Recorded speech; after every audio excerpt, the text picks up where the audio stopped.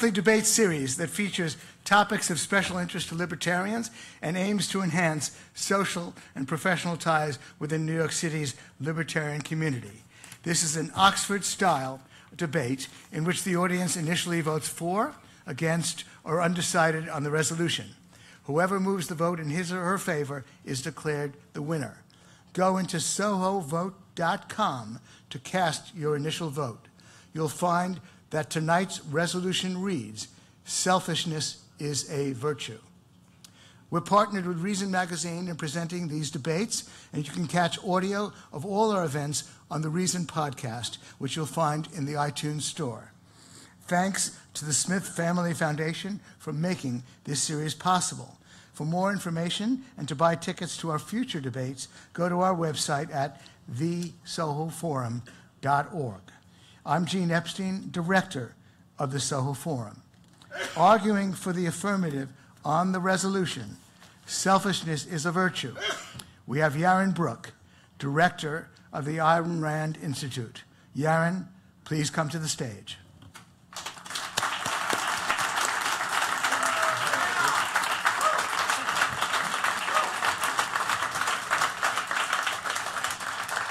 And since I will be arguing for the negative, I must recuse myself as moderator. Uh, for our guest moderator, we are honored to bring you Judge Andrew Napolitano. Judge, please come to the stage.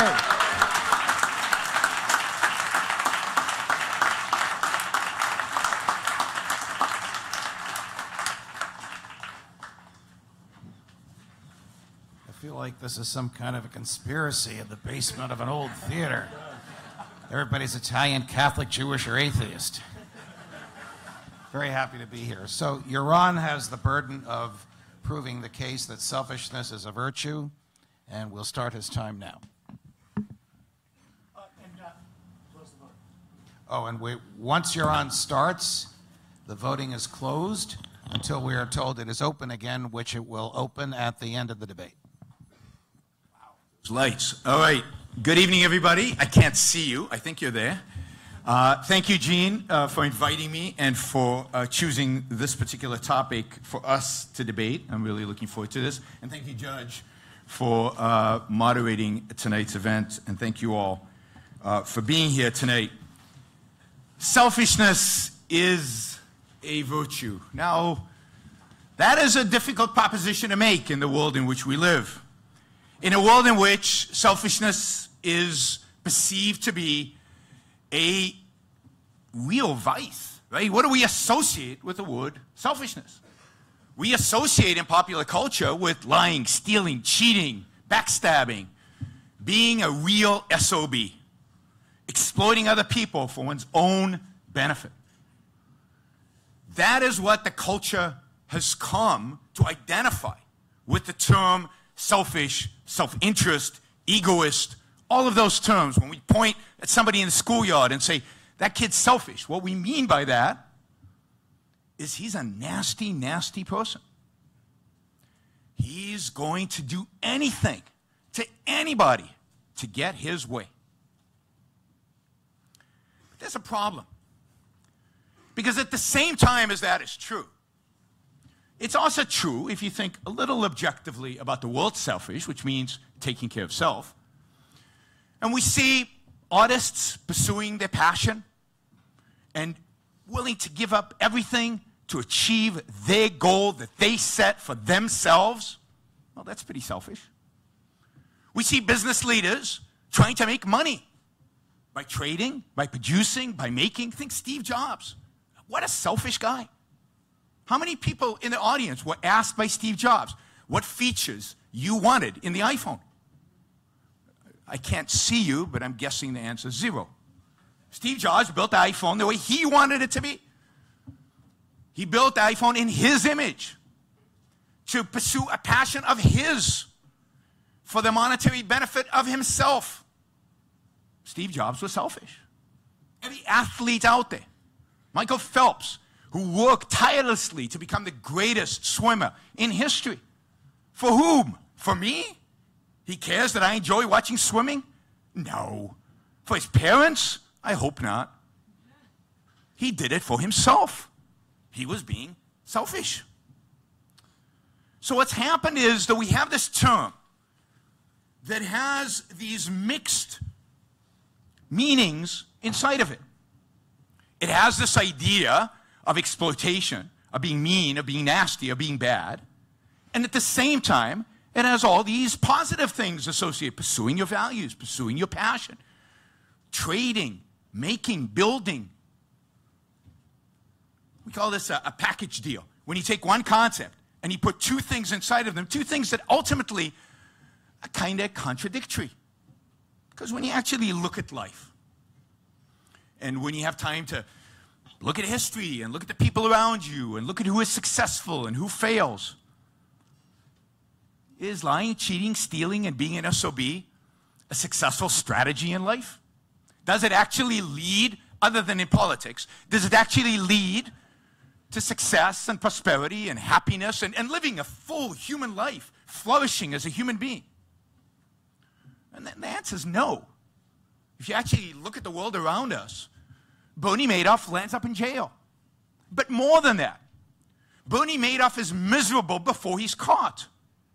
Not because he feels some innate guilt because he's lied and cheated and stealed, but because he has no self esteem because he lied, stealed, and stealed, because he can't look his kids in the eye, because he can't have a conversation because something might slip out and they will discover that he lied, stole, and cheated. Of course, it was the kids who told the feds about him. You know, God forbid the SEC actually catches anybody who commits fraud. They're too busy monitoring Don and my three, 13 Ds and 13 Gs, right? Uh, so, no, it doesn't pay off. It's not in your self interest to be the SOB in the schoolyard. Those people don't turn out well. They live horrible, miserable, pathetic lives. And this is, by the way, true of politicians. I've never met a, a happy politician. All you have to do is look at Bill Clinton or Hillary Clinton and see how miserable they are. They, they carry it on their faces. And, and, I think this is, and I think this is true of most politicians. I've met a lot of politicians. I've never met a happy politician. They all look miserable because they've achieved what they've achieved primarily through lying, cheating, some of them through stealing. But right? Hey, have you ever wondered how these guys go into office poor and come out rich? I mean, it's just weird. $250,000 speaking fees at Goldman Sachs. So we've got a muddled concept. What does selfishness actually mean? If you look it up in a dictionary, it says taking care of self, comma, any modern dictionary has the comma, at the expense of others. Now, what the hell at the expense of others? Where did that come from? The only people with an incentive to add that at the expense of others are the people who want you not to be selfish, who want you to sacrifice, who want you to think always in terms of the public good and the public interest and the common. And who are those? Well, the people who want to control you. The people who want to tell you how to live and what to do because they know what's good for the public. They don't want you to live for yourself because they know that people who live for themselves want to be free, want to be free of authority, free of coercion, free of force. So the only people who want you to live for the public interest, for the common good, are the people who are going to channel the public good and the common interest to you and tell you how to live and destroy your ability to be free. But more than that, we've been taught for 2,000 years that what is good is to sacrifice. What is good is to live for others. What is good is not your happiness, but other people's happiness. And, and altruism is an ism. It means otherism. And Augustine Comte, who came up with the term altruism, didn't mean being nice to people and opening doors. Even egoists open doors for people. I know that's a shock for you. No, Augustine Comte meant that altruism means living for the sake of others, living for the sake of their happiness, living for the sake of their well being. And the standard of your morality is how much you've sacrificed for the sake of other people. In other words, how much you have suffered for the sake of other people. Bill Gates makes $70 billion by changing the world and making people better off. I'm not going to explain the trader's, trader principle to this audience. I think you understand it. That the only way to become super rich is to benefit other people through trade. But he gets zero moral credit for that. Negative moral credit because he did make, make $70 billion in the process. But he leaves Microsoft and starts a charity. Oh, now he's a good guy. Not quite a saint. Now, I don't have any inroads with the Catholic Church. I'll have to, I'll have to ask the judge about this. But I suspect, I suspect that to become a saint, Bill Gates will have to do what? Yeah, he'd have to give it all away, move in, live in a tent, and maybe show us a little bit of blood. Because that's what conventional morality suggests. It suggests that virtue equals suffering. Have you ever seen a painting in a museum of a saint with a smile on their face? No. Because that's not the point. The whole point is to suffer. It's not how much you benefit other people. If it was based on how much you benefit other people, Bill Gates would already be a saint. It's how much you suffer. And the question has to be asked why? Why is other people's happiness more important than mine? Why should I live for some common good? I don't know any common. Why should I live for the public interest? I don't know the public. Why shouldn't I live? I've got one shot at this. This is the atheist in me coming out, right? I've got one shot at this. I've got one world in which to live. Why not make the most of my life in this world? Why not live the best, happiest, most flourishing, most successful, most engaging life that I can possibly live? And what does such a life require? Now, this, I think, is what morality should really be studying. Morality should be the science that studies what virtues and values people should pursue in order to achieve their maximum potential, in order to live the best life that they can live. Now, that would be a, an amazing project, a project started by Aristotle, continued by Ayn Rand. That is a project worth engaging in. What are those actions that we take that really lead scientifically to good life? Because we're a biological entity. We have a particular nature. Some things hurt us, some things are good for us. Just like some food is poison, other food is good for us. So certain actions that we take in our lives, certain virtues that we engage in are good for us, and others are bad for us. We have a particular nature. So let's try to focus on what is good for us and do that. And it turns out, and again, you don't need to be a nuclear scientist to figure this out. It turns out that what's good for us is not exploiting other people. It's not lying, cheating, and stealing.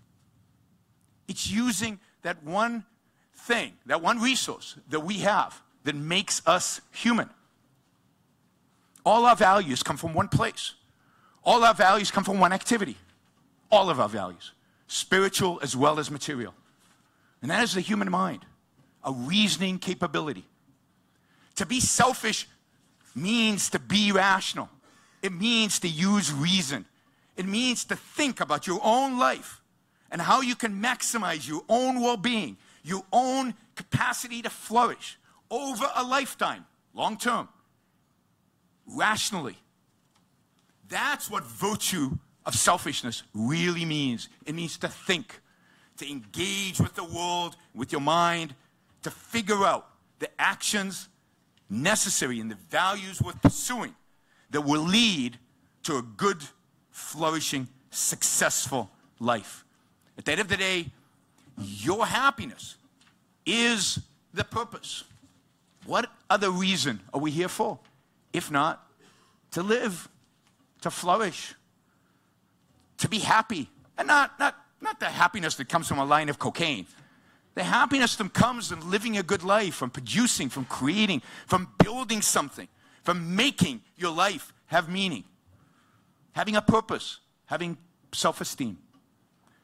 So, selfishness is the only virtue, in a sense. It's the purpose of life, is life, is your life.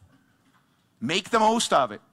Make the most of it by thinking, by reasoning, and by living. Thank you.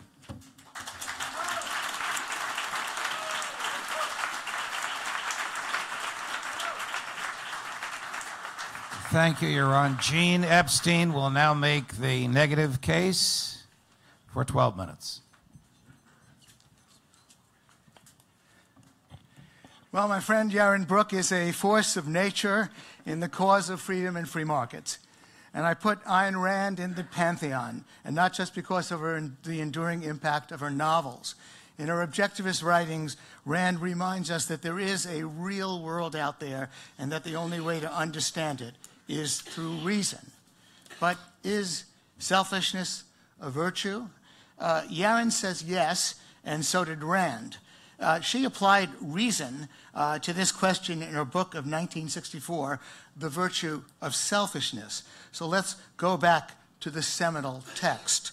Uh, we'll find that on the rational terms Rand herself set, selfishness is clearly not a virtue. Uh, Rand begins by confronting the question of why she, she chose the word selfishness to, quote, denote virtuous qualities of character. In characteristic fashion, she answers, quote, for the reason that makes people afraid of it. She continues, the meaning ascribed in popular usage to the word selfishness is not merely wrong, it is responsible for the moral, uh, for the arrested moral de uh, development of mankind. Yet, she continues, the exact meaning and dictionary definition of the word selfishness is concern with one's own interests. This concept does not include a moral evaluation. Now, uh, Yaron has at times referred to selfishness as Rand defined it, uh, but in her own statement, Rand made it, made it clear that it would be unreasonable for, her to, def, to, to define an English word according to her own preferences. That's why she cites the quote, exact meaning and dictionary definition of the word, which does not include a moral evaluation. Now, Yaron just commendably did cite the exact meaning and, def and definition of the word because it always includes a, a, moral evaluation. It always means, ever since Samuel Johnson's dictionary was written in 1773 and on through all of Webster's dictionaries, it always means moral disapproval. The dictionary writers were doing their job by reflecting the fact that all written records of the word have used it in this way. The only difference between what Yaron just said and what Ayn Rand wrote is that she was quoting what she called the exact dictionary definition of the word, and she defined it as concern with one's own interest, full stop, not concern with one's own interest to the detriment of others, not to the expense of others, full stop, just concern with one's own interest. So Rand was being rational she was pinning a, definition on the dictionary, but she was misquoting the dictionary. Now, uh, why the sleight of hand? Why did Rand pretend she was citing the dictionary when she was clearly not doing so? Think of the heroic struggles she went through as an immigrant from the Soviet Union. Imagine that, like Rand, you and I grew up with the suffocating idea that anyone who refuses to serve the state is selfish. Also imagine that even in the US, we witness President John F. Kennedy in his 1961 inaugural address declare to much acclaim that we citizens must all ask what we can do for our country. If we had these experiences, we too might want to shout from the rooftops that selfishness is a virtue, just to jolt people out of their servility to the state. We too might want to rail against what Rand called the arrested moral development of mankind by calling selfishness a virtue, uh, given the popularity of Kennedy's statement. But since we don't bear Rand's scars, we don't have to go down that false and destructive route, and neither does Yaron. To echo the words Rand herself used in her book, her use of the word selfishness is not merely wrong, it's done serious damage to public perception of the set of beliefs that Yaron and I both share. The use of the term needlessly antagonizes people by making it seem as though we who advocate freedom really do endorse a world in which people act in disregard of or at the expense of others. It does harm in another way. I've met followers of Rand who know what the word selfish really means and like to flaunt their indifference to others. These people do us no service. In a speech Rand delivered, she attacked Kennedy's statement, which read in full Ask not what your country can do for you, ask what you can do for your country. And in 1962, two years before The Virtue of Selfishness was published, a free market economist, Milton Friedman, uh, uh, took a principled stand against that statement in his book, Capitalism and Freedom, the same principled stand Rand had taken. But he declared that The free man will ask neither what his country can do for him nor what he can do for his country. He will ask rather, how can we keep the government from destroying the very freedom we establish it to protect? Joining Friedman and picking up on a phrase she herself strongly endorsed, Rand might have declared that the individual's pursuit of happiness is a virtue. Or picking up on a popular word in the 1960s, she might have argued that, quote, self actualization is a virtue, especially since self actualization has been defined as the achievement of one's full potential through creativity, independence, spontaneity, and a grasp of the real world. There are, of course, greedy and selfish people, but we don't have to endorse Gordon Gekko's view that greed is good any more than we believe that selfishness is a virtue. Instead, instead we cite Adam Smith's concept of the invisible hand. As Smith pointed out, in a market economy, greedy and selfish people can satisfy their aims only by selling us products we want to buy. The selfish are therefore led by a hand that is invisible them, to them to advance the interests of others. Yaron has written that business is a selfish activity. And it's a simple matter to correct Yaron's abuse of the English language through Smith's classic insight about the invisible hand.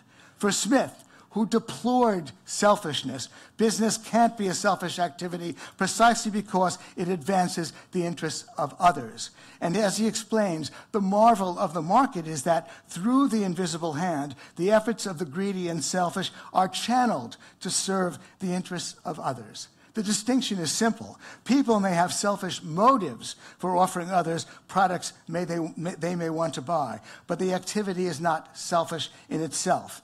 And plenty of people are in business for idealistic motives. Think of Steve Jobs, who, by the way, spoke about money only as a means of investment in the products he wanted to sell. Or of John Mackey, or of Howard Roark of, of Rand's novel The Fountainhead, who consciously devoted themselves to offering products that enhance the world. Now, oddly enough, uh, Yaron's tough mindedness yields to naivete when he says, well, honesty is the best policy for all of us. Unfortunately, even in a market economy, the moral does not work that way. Yaron may decide that dishonest people and, and, and selfish people in this world are personally unhappy, but I wonder, economists Thomas Piketty and Paul Krugman have been made millionaires by the market for services that are without merit and have in fact done great harm. You can bet that if these two con men or countless others like them ever do pay the piper, it won't be until the afterlife. Uh, what do Harvey Fires, Weinstein, Jack Warner, Harry Cohn, Alfred Hitchcock, and Louis B. Mayer have in common? Well, they're all Hollywood producers who were pr- sexual predators against women.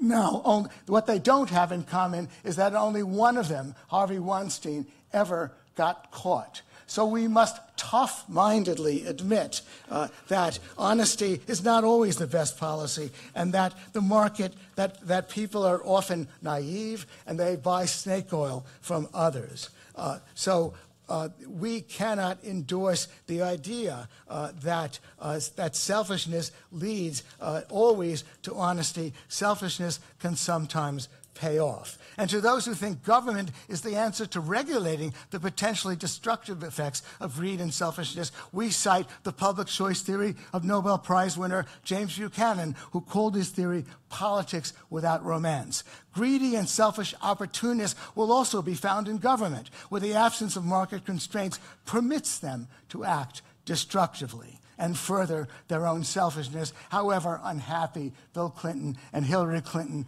are, according to Yaron, who probably hasn't uh, had them confide in him uh, for quite a long time. Uh, as, Yaron, as Yaron and I both know, we advocates of laissez faire capitalism are the only ones who can truly say that we care about the well being of the broad masses of people, while the Bernie Sanders of this world are offering them snake oil that can only make matters others worse. Yaron has also disavowed selfishness correctly defined. In a recent interview, Yaron was asked about whether he believed in a social safety net, and here's what he said I believe in a safety net. I just don't believe the government should provide it. I don't believe I should be coerced to help them. You want to help them. I want to, want to help them. We can get together and help them voluntarily. Notice that Yaron said, I want to help them. And so would I. Adam Smith could have had us in mind when he wrote in 1759 How selfish soever man may be supposed, there are evidently some principles in his nature which interest him in the fortune of others. Of this kind is pity or compassion, the emotion which we feel for the misery of others. Compassion is a virtue. Self actualization is a virtue. But selfishness is not a virtue. You must vote no on the resolution. And in doing so, you'll be even truer to the rational ideals that Ayn Rand advocated. Thanks.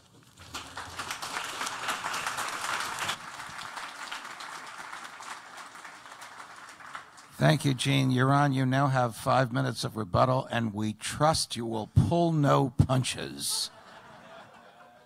five Minutes. This is going to take a while. Um, so, Gene's view, as articulated, is the view that most free market supporters since Adam Smith has held. How's that worked out for you guys? Not very well. We are losing the battle for liberty. We're losing the battle for freedom exactly because of this view.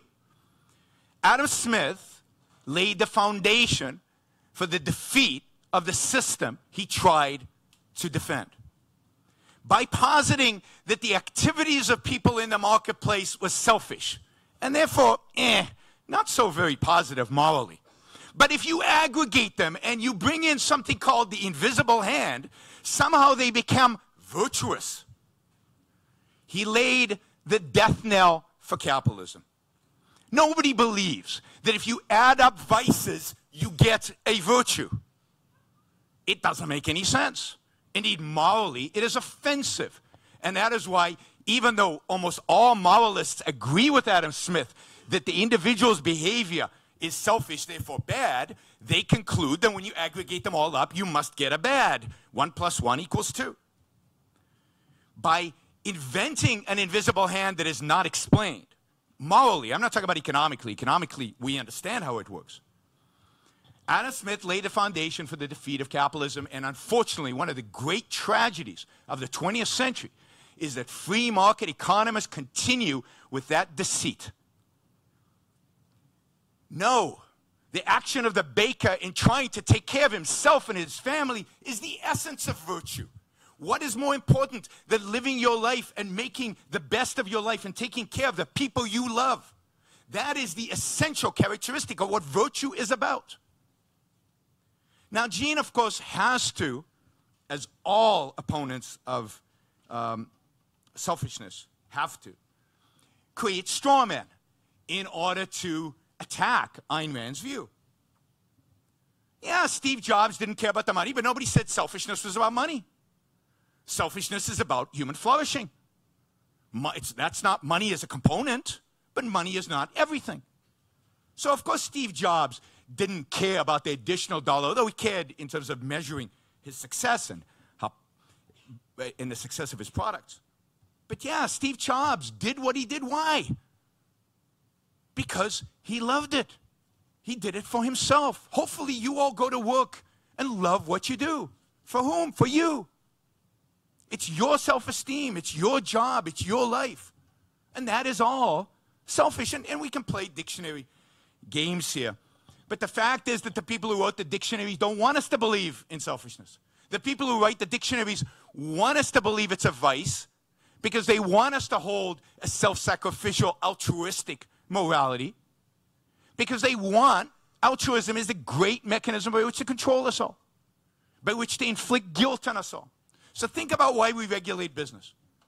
We regulate business because we have this confusion about selfishness. They're obviously selfish. Steve Jobs was obviously selfish.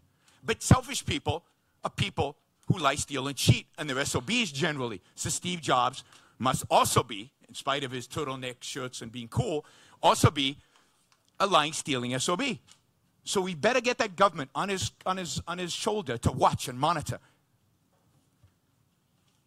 We, we redistribute wealth because you businessmen are too selfish to consider the fate of other people. I think selfish people have a huge interest in the fate of other people.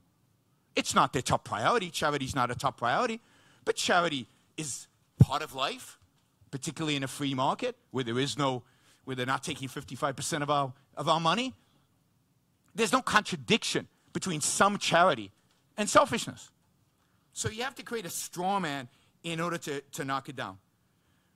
Steve Jobs, businessmen generally, of course they're greedy. They're trying to make more money. What's wrong with that? There's nothing wrong with that. But if we have a negative perception of greed and selfishness, we're obviously going to want to regulate and control. So, the battle, in my view, for free markets, the battle, in my view, for liberty and freedom is not an economic battle. We won that 50, 60, 70 years ago. Maybe we even won it with Adam Smith. The battle is to eradicate the old Christian, Judeo Christian, however you want to call it, morality of altruism, morality of living for the sake of others, and replace it with a morality of the virtue of selfishness. Thank you.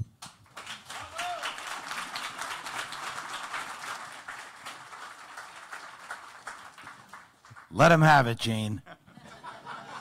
Gets the last word always. Well, uh, uh, Karl Popper. Oh, okay. um, Karl Popper, uh, the philosopher, once said, uh, "No rational argument will have a rational effect on a man who does not want to adopt a rational attitude."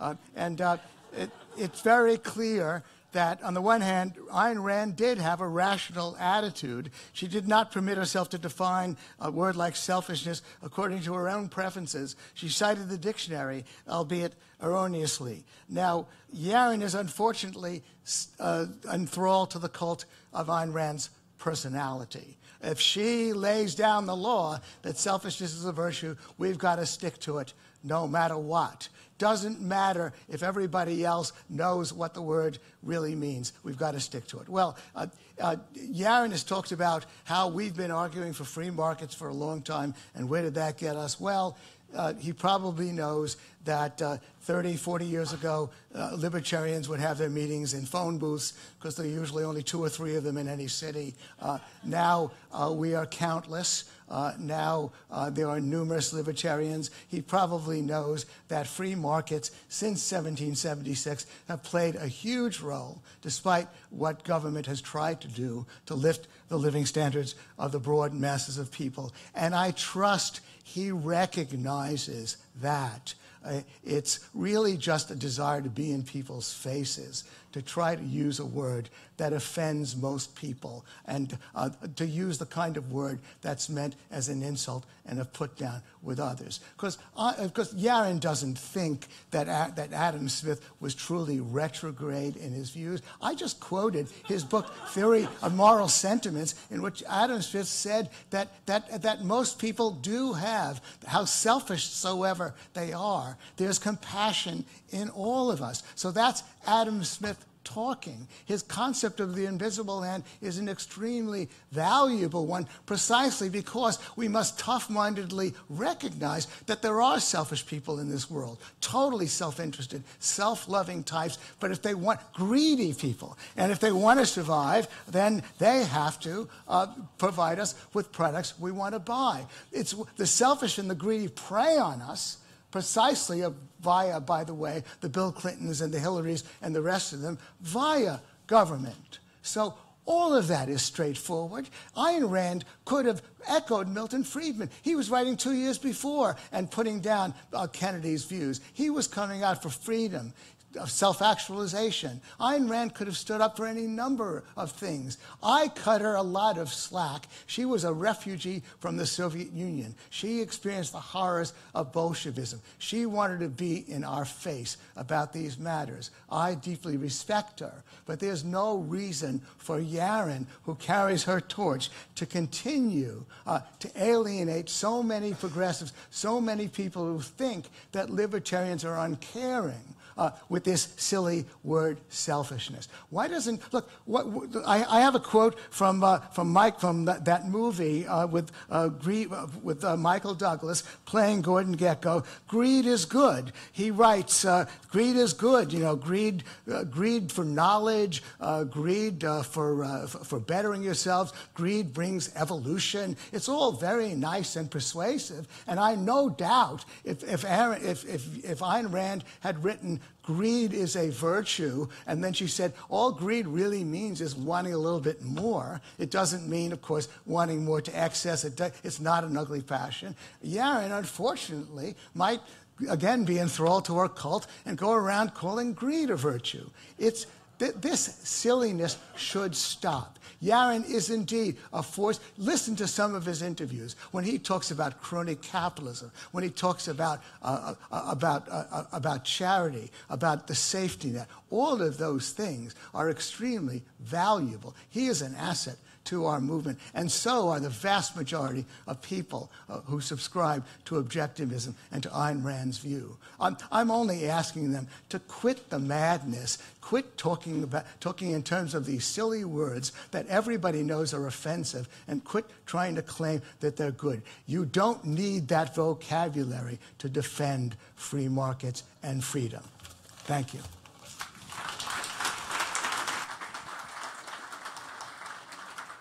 All right, Gene, I'll let you catch your, catch your breath for just a minute because I want to put a question to you first while the other questions come in. And uh, Jim has begun to uh, text me the questions that are coming in from the folks that uh, are not with us. Aren't you and Yaron really on the same page? And isn't this just a semantic argument over the sounds of the word selfish? And doesn't it really have nothing to do with Ayn Rand? It's nothing to do with Ayn Rand. Well, is greed? Uh, can I ask you a question, Judge? Is greed? No, no, no, no, no. You, okay. This is this is my courtroom, well, I'm, and i have uh, and I've put the question to you, Professor. Ayn Rand, Ayn Rand wrote a book called The Virtue of Selfishness. She put it out into the language. She defended the virtue of selfishness. She said, I want this word to be out there precisely because it gets people upset. This is the exact meaning of the word. Uh, ever since she wrote that book in 1964, a good many decades ago, we've been hearing this selfish mantra over and over again from Yaron. So it's not and others. So it's hardly, hardly something that has nothing to do with Ayn Rand. She put it out there, and she put it out there because she was a refugee from Bolshevism and she hated, hated the state that would accuse her of being selfish because she didn't serve the state. We don't bear her scars. We don't have to continue this, uh, this foolish satire. Yaron, respond, please. Well, I think it's ridiculous to attribute everything you don't like about Ayn Rand to experiences in the Soviet Union. But, uh, you know, the, the, the, this, there's this tendency now to make everybody a product of their environment. Ayn Rand was a genius. She knew exactly what she was doing when she suggested the word selfish. She was trying to overturn a moral tradition. She was trying to question and challenge the long-standing, primarily Christian, but secular as well, tradition of self-sacrifice and altruism. And she was arguing that if you believe in man, not forget economics, forget freedom, forget politics, if you believe in you as a human being, then what we need is a different morality, a different moral code. She was challenging Adam Smith's moral code. She believed, and I believe, and I know he thinks I'm just a mouthpiece for, an unthinking, I guess, mouthpiece for man. That was the suggestion. Um, no one could suggest that you were unthinking. Well, I think Gene did. Um, I called you a force of nature in the cause of freedom and free markets. But no. And but, I believe that. But to me, to me, freedom and free markets are secondary. To me, much more important is what individuals pursue in their own life, the kind of life you as an individual take on yourself. And most important to me is the kind of life I take on for myself. And what Ayn Rand is trying to do is challenge us, is say this Christian morality of sacrifice and altruism is wrong. The morality that Adam Smith upheld in the um, uh, theory of moral sentiments is wrong. It's anti life, it's anti human, and ultimately it's anti freedom and anti capitalism. And she is presenting in that essay a new morality. And to the extent that we, as a free market movement, don't take that seriously, we will ultimately lose. This is a battle, the battle for liberty and freedom, that is won or lost in philosophy and morality, not in economics. And if we don't pick up the mantle, you don't like the word selfish, use self interest, use egoist. But the idea of placing one's own life, one's own well being, one's own flourishing at the, at, the, at the center of one's life, as the goal of one's life, that is crucial to our victory, political and economic. But more importantly, again, it's crucial to you living a good life. And that's what you should care about. You should care about living a good life. All right, I know you want to catch your breath, but the questions have No, started I never to want to catch my breath. So here's here's a very interesting question for Yaron. If a selfish person does a moral action such as donating to a charity because it makes him feel better, can we really call it selfishness? Look- Wouldn't it just be the empathy of the inherent human condition? But you see, the, the question has already bought into the anti morality that I believe. Giving to charity is not necessarily moral. It might be, it might not be. What makes it moral is is it rationally in your self interest to give to charity? And I believe in some situations it is, and in some situations it isn't. If it comes out of the money that you would feed your kids, it is downright evil to give to charity. If, it, if your kids are more important than your neighbor's kids, you know, how many of you, if your kids are drowning and your neighbor kids are drowning, go for the neighbor's kids first? You selfish bastards, you love your children more than your neighbor's children. Okay. Right. No, so, so the framework has to be, the, the framework of this new moral code is not, is that what is your self-interest is moral. So charity is moral only if it's in your self-interest, if, you, if it's rationally supportive of your life in some way. And I believe charity can be, All right. but isn't always. bearing in mind that uh, Professor Epstein's offspring is seated in the front row, he wants to address the choice of who to rescue. I'm kidding. You want to respond to this? Look, look, again. I think Gene's- Again, again I, I, I, I, we could throw out a lot of different words for Ayn Rand and for Yaron to defend. The word self-interest, by the way, is essentially in the dictionary. It's, it's, it- it's, a, it's a milder version. He's a self-interested person, uh, slightly milder than selfish. Look, we have a lot self-actualization, the pursuit of happiness. All of the, the individual's pursuit of happiness is a virtue. Isn't that good enough for all of us, for, the, for, for, for, for Yaron. Uh, Self actualization is a virtue. Individuals do matter. Uh, and, and that's partly because, partly because I believe that Yaron and I both share Adam Smith's view that we are all compassionate. Some of us very compassionate. Uh, Adam Smith even added that you find compassion even in the worst brigand. All that simple vocabulary that the English language offers uh, uh, uh, covers all the bases that Yaron is so concerned about.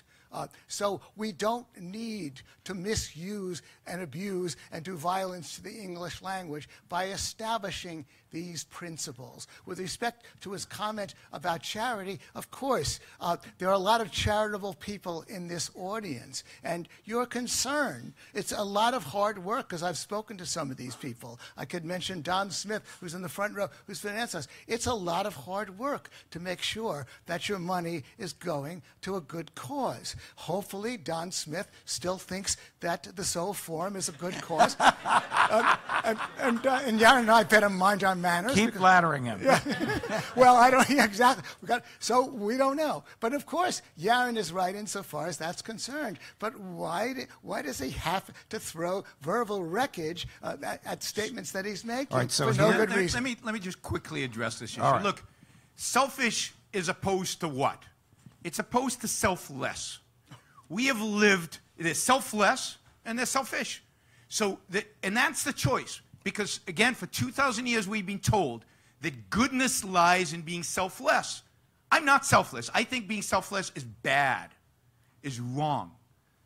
And to counter that is the word selfish. And yeah, we can redefine, we can rewrite the dictionaries. That's, that's a good thing to do. That's a good thing to do in some cases. And let me just burst one other bubble that Gene has. I don't think compassion's that important. I don't think compassion changes the world. Compassion's nice. M- Most of us are compassionate sometimes. There's some people I'm not compassionate at all towards, at all. Uh, but compassionate is not a major virtue at all, in my view. All right, I have one more question. Hang on, Gene, from from the streamers, which is a good one because of the your very eloquent reliance on words. Why do you rely so heavily on the dictionary definition, which is tainted by 2,000 years of historical adoration of self-sacrifice? Your, Yaron, Yaron did not text me that question. As far as you know. As far as I know, it came from your son's filtering out here. we if granting potentially granting that assumption about the dictionary, about the English language, uh, about how Adam Smith, Jane Austen, and others use words. Uh, we are unfortunately, Yaron and I, and everybody in the audience, we are stuck. We have to deal uh, with, the, with the cards that are played us. There are many, many words that, by the way, change their meaning over time, uh, that uh, have ambiguous definitions, but this word is not one of them. It's always meant uh, moral, uh, to, meant to convey moral disapproval. So we are stuck with the English language. Uh, why should the devil have the best tunes? We've got to use the devil's language. But also addressing Yaron's concern. By the way, I agree with him. And and and by the way, in that answer he gave about helping uh, people in need, he made a very good point as well, which is uh, echoing, by the way, Adam Smith, who said, "I have never known in the Wealth of Nations when he's talking about the invisible hand, he says, I have never known much good done by those who affected to trade for the public good. It's absolutely true that the market, via the invisible hand, where greedy and selfish people are involved and where the idealists are involved, the market takes care of human needs overwhelmingly. Uh, and indeed, I probably, Yaron and I share the view that it seemed to have been antitrust who forced uh, uh, Bill Gates uh, out of his business. Bill Gates did far more for the world uh,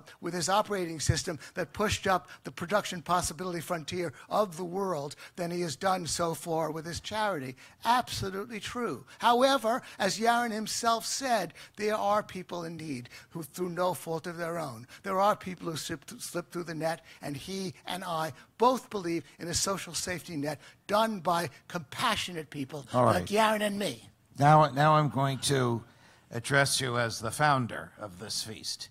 What is the procedure now for getting the audience to ask the questions? Well, uh, yeah, line up. Uh, there's a microphone there that people Are they going to turn the lights up so I can see them? Maybe not. Is there, is there, is there a questioner there? Please, please do your question. Go ahead, question. All right. So while they're while they're lining up, do you find uh, problems dealing with uh, university students who are repelled, perhaps because of what their professors have told them, by the use of the word selfish, and cannot sell that concept to their colleagues? I don't think I don't think the word is ever the problem. Can you help young people sell the concept of selfishness without the sting often associated, perhaps by culture, with that word? Absolutely. Because if, if you translate it into caring for self, if you translate it into flourishing as a human being, making your flourishing your primary uh, moral goal in life, that the goal in life is the pursuit of happiness. What's more selfish than the pursuit of happiness? That is the essence of selfishness. Is the pursuit of happiness the essence of selfishness? No, the, the essence of selfishness, as the word means, uh, as, uh, and, and as the word definitely denotes, is that it means somebody who pursues his own goals to the detriment of others, who rolls over the interests of others. But you You see, Gene is not interested in this pursuit of happiness. This is the issue, right? Because Gene every time returns to this moral obligation that he feels towards charity and towards helping the poor. Yes, they're poor people, but they're a minor issue in a free market. I just said the that. Issue, the issue of, of, of poor people is a minor, trivial issue, and yet every conversation we keep coming back to. But we need a safety net. Who, you know, a safety net. Yeah, safety net. There'll be a safety net. Who cares? Safety it's net, less than net. it's less than 1% of the people. It's, it's, that is not the barrier to explaining capitalism. Can it's a- people taking seriously their own lives. Can a selfish person contribute voluntarily to a safety net and still remain selfish? Well, I think Harvey Weinstein probably contributed to a safety net, and, and he's a real selfish pig. but look what kind of a life he's But by the way. I completely agree with what Yaron said. He doesn't seem to be listening to me. Uh, he's behind the. He, I, I said, indeed, I agree with him that a flourishing capitalism where everybody participates will take care of most people, the vast majority of us. Well, it will lift the standard of living of the broad, broad masses of people. That has to be taught to people, absolutely. And Yaron is an important voice for that. Of course, indeed, compassion is a relatively a minor affair in that. On, on the other hand, we do want idealists like, like Steve Jobs, people, and Howard Roark, by the way, who want to change the world through their, through their products. Real visionaries who care about changing the world. That's what most of the great entrepreneurs were all about. They cared less about money than about changing and helping the world in a compassionate way. All right, be- Before I go to the podium to take questions from the audience, I can't see you. Are, are there questions? All right, good. Good, good. All right, so let me hear the first one. I You're on. reserve the right to, to edit them, to rephrase them, or redirect them. So no speeches, just the question. Sir. Right, you're on. Uh, Gene started off twice by referencing Ayn Rand's statement that selfish is a neutral term. So I guess you lose. But the whole book is entitled The Virtue of Selfishness. So isn't there a equivocation between the word selfish and selfishness, the action? You're on. Are we hair splitting over the meaning of words, or is there an inherent conflict between the concept of selfishness and the concept of virtuousness? No, there's no. There's obviously no conflict. I think the two are the same. I think we're not splitting words because at the end of the day, Gene and I disagree about the content of morality, in spite of his trying to deny that fact. So put aside the word. Let's forget selfishness. The actual content of morality we disagree on, and he's trying to paint my view as, again, he returned to this idea of money. Nobody mentioned money. Ayn Rand doesn't mention money in that essay. Money is not what she's talking about when she talks about the virtue of selfishness. The virtue of selfishness is about living. It's about making the most of your life. That's what selfishness is. That's what selfishness means. And while in the her, I don't know what dictionary she pulled that definition of. I will I will research that for Gene's sake. I will send him the reference in the dictionary where she took that from. Okay. I bet you there is such a dictionary. She didn't make it up. Gene, would you have this conflict with Yaron if the word selfishness did not have the odious sting that it does? Suppose it was Well- the word flowers. Well, if the word, I guess, I, I guess if the word greed uh, it didn't have the odious sting, he's a greedy, ba- greedy. Usually, it's greedy bastard. The opposite of the word greed, I guess, is give, everybody gives the word greed, the word hateful, uh, the word Jew hater, the word all of those things. If those words didn't have a sting, I guess I'd be all for Yaron.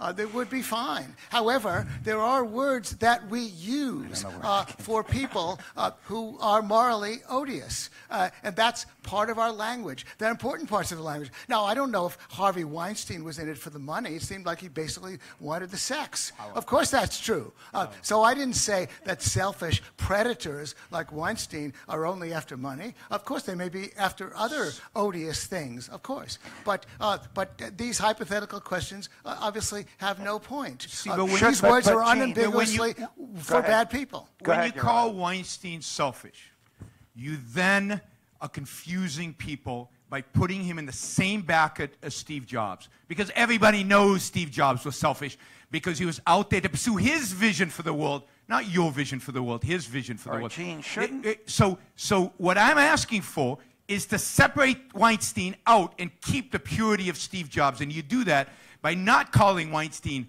selfish, but by calling him what he truly is, which is a predator, a self destructive human being. His behavior, see, selfish means promoting self. Weinstein did not promote himself. Weinstein destroyed himself. And just look at him. He's a destroyed human being. And he is a self, just like Bernie Madoff, these people are self destructive. And to call them selfish confuses people about the nature of capitalism. And this is why, one of the reasons why we cannot convince people because they think we know that businessmen are selfish. You're not going to convince us otherwise, right? And selfishness is bad. Okay. Next question from the audience. Steve, our Elaborate- job had a vision to change the world and offer us Change products. the world and and change our our vision lives. Hang on, hang on, time out. Who's, who's next from the audience? Yes, Jen. Yes. Hi. Uh, this question is for Yaron. So I'd like to probe a little bit um, how you feel about a situation where your self-flourishing and your self-actualization has to pit against um, some kind of social duty or um, responsibility towards, say, your family members. So you know, a classic example is a person who is called to be so passionately involved in some kind of calling that they may um, abandon their parental responsibilities or other kinds of social responsibilities. Um, and, you know, is that selfish? And how do you feel about that? Okay, so can selfishness justify the impairment of other voluntarily accepted duties and responsibilities, like being a good parent? So I don't consider being a good parent a social responsibility. I don't know what social responsibility means. I don't know what that concept is. Uh, when you have a baby, you are taking on a responsibility. You're taking on a implicit contract to take care of this child until they're an adult. And that is a primary responsibility. It's not the only responsibility you have, but a primary responsibility that you have to, for your own well being, for your selfish own life. But not there are people that might say for their own well-being, they have No, I know. But you look, sometimes I sign a contract, right? And halfway through the implementation of that contract, I change my mind. Okay. Tough, right? I still have to fulfill the contract, Okay. right? And the same thing with having kids. You can change your mind. Certainly, many of us, somewhere around between nine months and three years, had a change of heart over and over and over again.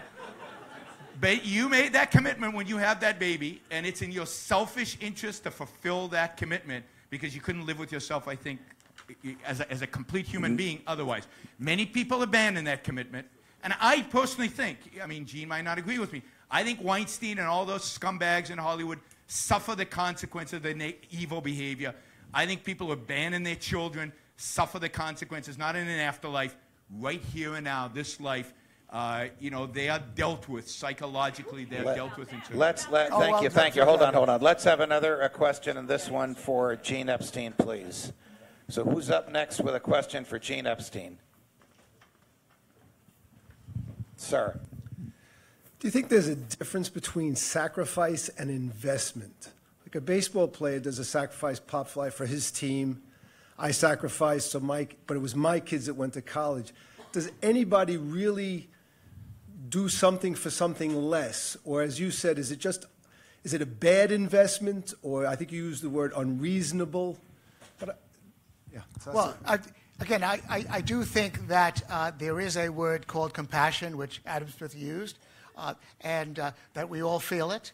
And uh, so uh, people who make sacrifices, uh, to some degree, sacrifice of money, sacrifice of time, uh, they, uh, they feel compassion and they feel good about it. They are not selfish. And just a comment, it's, it, it, it, the, the oddity in, in Yaron's view is indeed that all selfish and hateful and predatory people eventually have to pay the piper or that they're deeply unhappy. Uh, this is, uh, that honesty is always the best policy. This is unfortunately a terribly naive view. Uh, and uh, so again, I add that other Hollywood producers, Jack Warner, Harry Cohn, Alfred Hitchcock, Louis B. Mayer, uh, they all got away with it. Uh, and it's only lately that people are not getting away with it. And it's a little silly, it's a little childish for us to say, oh, well, they were deeply unhappy in their heart. Or that Paul Krugman or Thomas Piketty actually will eventually look at themselves in the mirror and realize what professional liars they are. And, and even though they've been enriched by the market, again, unfortunately, rather naive. Uh, in that case, as I say, the crucial point to bear in mind is that at least these people are functioning in the market. They are selling snake oil, and the market is buying it. Yaron, but how much more dangerous would they be if they were in government? Yaron, do you want to reply? Yeah, I mean, I'd say, yeah, I, I, I, I am com- completely convinced that Paul Krugman is suffering from the fact that he is a real scumbag. Uh, there's no question about that.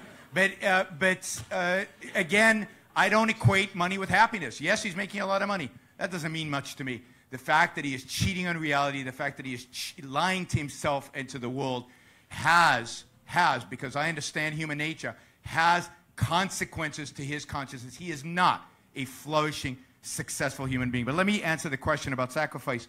Uh, sacrifice is another one of these terms that is muddled, that is confused. And many people use sacrifice instead of investment. Uh, I, I think that is, a, is bad English and bad linguistics. Sacrifice is what Jesus did. He got crucified for sins he did not commit. He got crucified for your sins. Sacrifice is giving up something more important, your life for the sake of something less important, your sins, other people's sins. Um, so sacrifice is a negative. It is a bad thing. It's self-sacrifice. But again, a lot of people use it like in basketball. He sacrificed for the team. No, he wants to win. He's selfish. He wants his team to win, and he's willing to score a few less points or take a few less shots in order to achieve victory. That's what selfishness means. So there are a lot of terms, unfortunately. The bad guys have made this very clear. You see it in economics as well. There are a lot of terms that are being muddled by the people who do not want us to realize our own potential as human beings. And there's a lot of uh, cleaning up the dictionary, if you will, and, and sacrifice and selfishness are two words that need to be cleaned up. Yaron and I are both Jews who chose not to follow Jesus, so I agree with him about that part of it, by the way. Did you have to bring Jesus into this? He did. And, and what's this Jewish stuff? What are you talking about? You told me, you told me your parents kept kosher. You told me that. Parents kept kosher. They're Jews. Oh, okay. I'm a All right, good go- atheist. Okay, uh, Gene, do you want to reply to this, and then we're going to go to the uh, summations? No, it's okay. Yeah, no. No. Okay, next question for uh, Gene, please. Uh, actually, my question is to you both. Uh, I want to bring up an unlikely thinker, I think, a lefty who by accident made a good point about this topic. uh, Richard Dawkins, uh, to be more precise. Uh, in his book, The Selfish Gene, he explains that um, selfishness is about maximizing the probability, um, survival probability of your genes and also your memes. So that means, of course, your thoughts, whether it is uh, liberty or equality, whatever. So um, I think he explains well in that regard because that explains why I would care most about my Okay, children. can you put this in the form of a question, please? Sure. Could you please comment? You want to take mean- that one first, Mr. Energy? I mean, there's a lot to say about, about the, the book, The Selfish Gene. And uh, I think a lot of issues there, a lot of, a lot of challenges. And primarily, um, human beings are different. Uh, evolution has done something to human beings that is amazing and great. And we have free will. And we get to, we get to recode. We're not just, in spite of the evolutionary psychologists, we don't just do what our genes tell us to do. We actually have reason and we have the capacity to dictate what our life will be. So while Richard Dawkins' perspective on the selfish genes is all you want to do is multiply. And if that were the case, all we'd want to do is, you know what, uh, is, is, is everything, uh, everything we would do would be focused on sex and, and, and, uh, and, and you know, uh, procreation. I, I, I think we're more than that because of the capacity to reason, because of the capacity to rewrite the software, if you will, because we have free will. Gene. All, all rather interesting. Uh, uh, I can only comment on it that you know you, you could you know there's a movie I love called The Hateful Eight. Uh, now uh, there's uh, maybe you could have called the book The Greedy Gene. Now obviously when people write books, they use titles. They might use words in slightly odd contexts, but obviously when we're talking in objective terms, in rational terms about the world, then and about human behavior, uh, then uh, then then we have to use words according to definitions that, in the case of selfish, has never ever changed. There are words that do change their meaning. There are words that have ambiguous meanings, not words like greedy, hateful, selfish. Uh, All right, in order to keep to our uh, prearranged time schedule, we're, we're going to have the closing arguments now. Yaron will go first for five minutes, and Gene will follow for five minutes, and then we'll have the voting. So, as Gene admitted, words change over time. For 2,000 years, those who advocated for self sacrifice, for, uh, for enslaving the individual to the group, enslaving the individual to the collective, have wanted us to believe that there are two alternatives in morality, two alternatives in living. One is to live for the sake of others, to be altruistic, to place the well being, happiness, and good of other people above self. The alternative to that has been presented as being a lying, stealing, cheating SOB. Selfish, in other words. Those are the two alternatives presented. What Ayn Rand is offering is a third alternative an alternative that says that you can live for yourself rationally, honesty, with integrity, pursuing justice, pride, be, being proud, committed to your own morality and your own moral perfection, living the best life that you can live for yourself in pursuit of your own happiness. That new moral code, and it's a new moral code, at least since the advert, the advent of Christianity.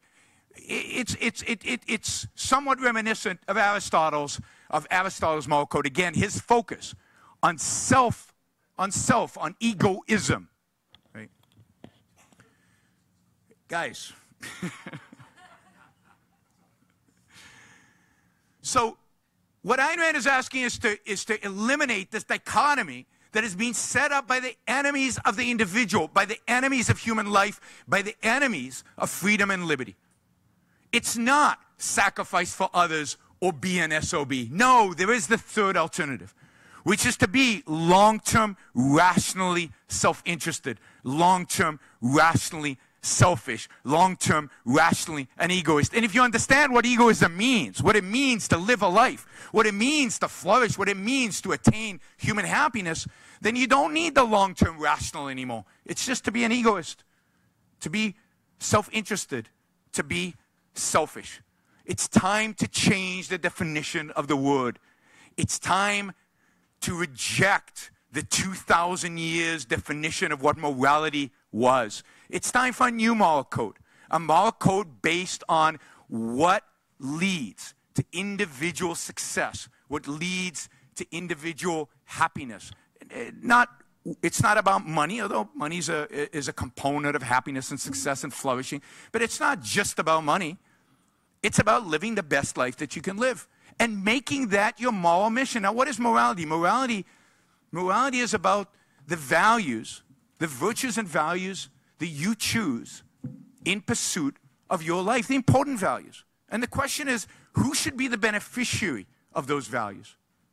Selfishness says you should be that beneficiary. You should benefit from the stuff you produce.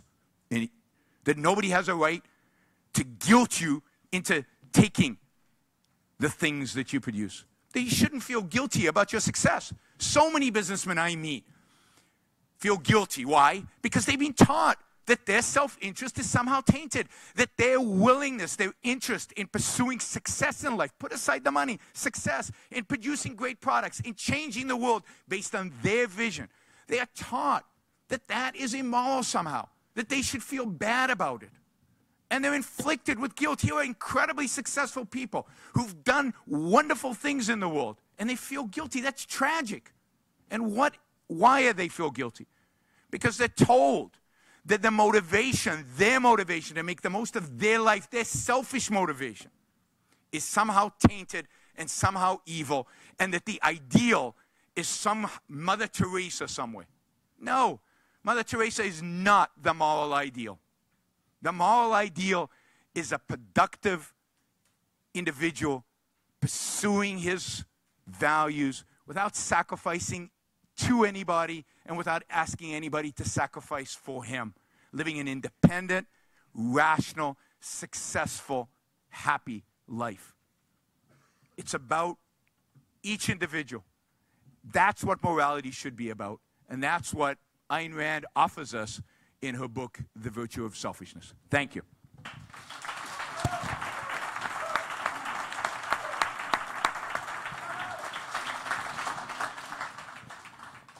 Gene Epstein for five minutes. Well, it's time to change the dictionary definition of the word. I guess that's what Yaron said.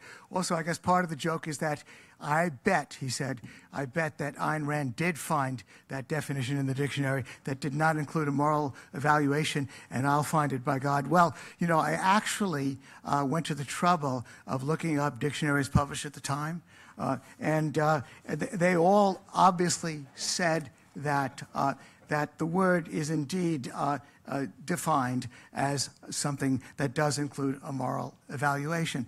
Ayn Rand just didn't bother to do her homework. Do you know? Do you know? Uh, if I were to talk about Adam Smith, I could I could criticize him for so many other things. Is Ayn Rand perfect? Every time I hear Yaron say Ayn Rand was a genius, I know what really is implicit in that. That she was uh, some goddess, some walk on water person who could not make any kind of uh, mistake. That well, there's not a thinker that I personally admire and have learned from, from Adam Smith to Murray Rothbard to others who have not, to Ludwig von Mises, uh, who have not made mistakes at times. There's no reason uh, to live uh, with those mistakes. Now, uh, Yaron seems to think that by pushing the word selfishness, by misusing the English language, even though there are so many other words in the English language that we could use uh, to promote uh, the uh, individual freedom, that he has to keep using the word selfishness. And he seems to think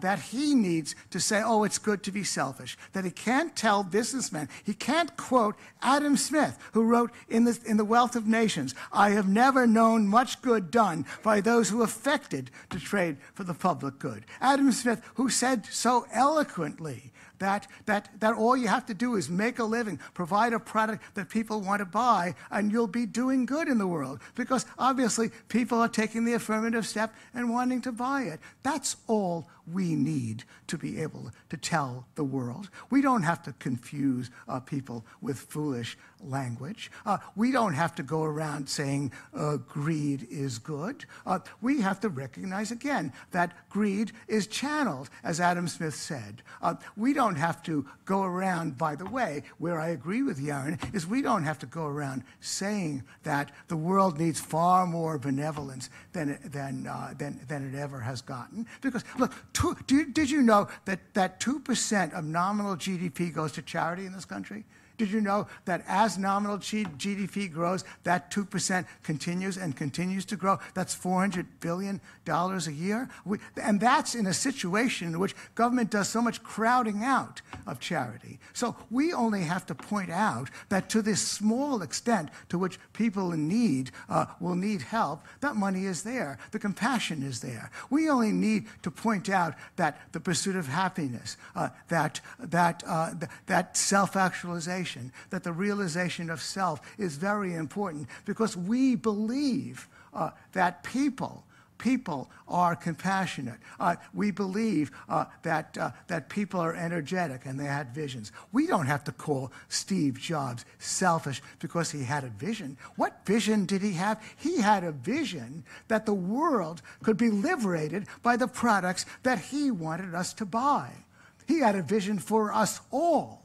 That's the vision he had. That's an idealistic vision. That's not a selfish vision. Uh, and there are other vision, minor visionaries. We, we, were, we, we had back to back obituaries about Sam Bass of the Strand Bookstore, who died recently, uh, uh, who, whose vision, whose sole goal was to, was, to was to sell us secondhand books at a discount because he loved books. Uh, we, we, we, had a, we had a vision of the guy who ran Lincoln Plaza Cinemas uh, who wanted to sell us art films. The world is filled with, with idealists who really want to sell us visions. So we have a more than adequate vocabulary that, by the way, that Yaron has contributed to in order to deal uh, with our vision for freedom and free markets and we, we can call a halt. We can end the craziness. We can end a situation in which Ayn Rand actually tells us that, uh, that, that the word selfishness has no moral, uh, moral, moral implication.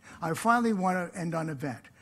Yaron, you want to find a dictionary in which Ayn Rand found this? My 100 to your 10. I pay you 100. You send it out. You send out that dictionary and you cite it. I looked up all the dictionaries. That is got him crazy because he is so desperate, desperate to defend this goddess. Uh, my 100 to your 10, Yaron. Thank you very much.